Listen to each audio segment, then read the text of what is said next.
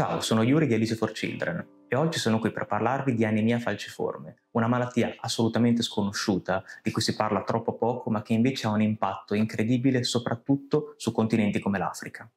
Oggi è infatti la giornata mondiale contro l'anemia falciforme, una giornata pensata per porre l'attenzione su questa tematica e su questa malattia.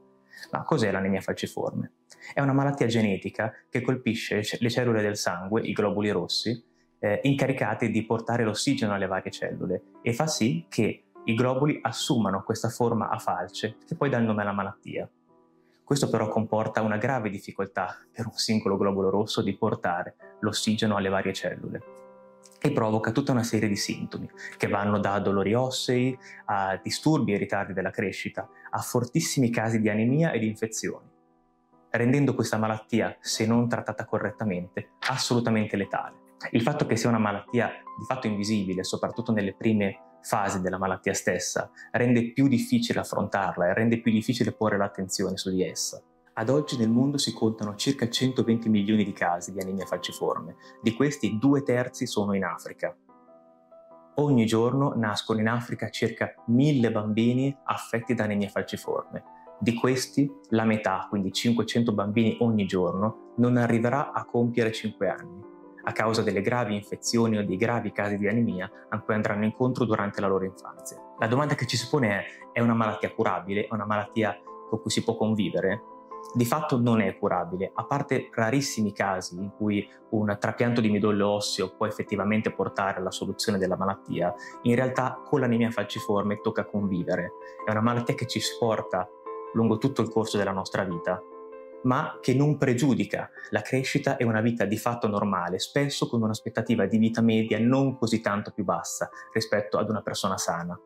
L'importante è riuscire a ricevere tutti i trattamenti necessari a tenere sotto controllo la malattia e a vivere in salute, il che non è affatto facile, soprattutto per persone come i milioni di abitanti delle baraccopoli di Nairobi in cui operiamo dal 2006, che vivono in un contesto di estrema povertà e che quindi non solo non hanno accesso alle medicine di base che servono per mantenere sotto controllo la malattia, ma che non ricevono e che non hanno accesso ad una dieta equilibrata, ad un supporto alimentare e sanitario corretto, eh, banalmente ad un'idratazione corretta e costante, che sono fondamentali per tenere sotto controllo l'anemia falciforme. Tra i nostri bambini nelle baraccopole di Nairobi molti sono affetti da anemia falciforme. Fortunatamente noi siamo in grado di eh, capire per tempo il fatto che sono affetti da questa malattia e interveniamo affinché loro possano avere un'infanzia e un futuro del tutto normali, esattamente come gli altri bambini. Come? Innanzitutto garantendo loro tutta una serie di controlli medici periodici per tenere sotto controllo la malattia, per sincerarci che tutti i sintomi che notoriamente l'anemia falciforme comporta non intervengano e nel caso intervenire subito noi stessi per fermarli e per tenerli sotto controllo.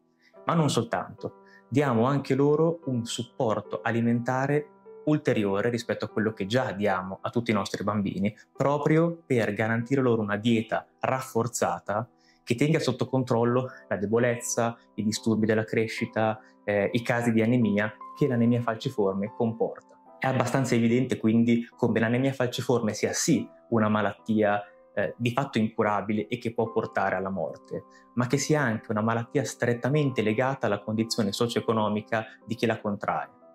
Se una persona non ha i mezzi per potersi garantire in primis una corretta alimentazione e in secondo luogo eh, tutte le medicine di cui ha bisogno, ecco che una malattia con cui si può convivere e che comunque ti può permettere di avere una vita normale diventa letale e si passa da una questione meramente medica ad una questione socio-economica. Noi interveniamo da entrambi questi lati, sia garantendo l'accesso alla salute a tutti i nostri bambini che hanno l'anemia falciforme e non solo, cosa non scontata in un paese come il Kenya dove la sanità è privata, ma garantiamo anche loro un sostegno alimentare ulteriore per far sì che possano crescere in salute, nonostante la malattia. Tutto questo è reso possibile ovviamente dall'aiuto dei nostri donatori che non fanno mai mancare il loro supporto. Anche tu puoi difendere i diritti alla salute e alla vita di tantissimi bambini affetti da anemia falciforme.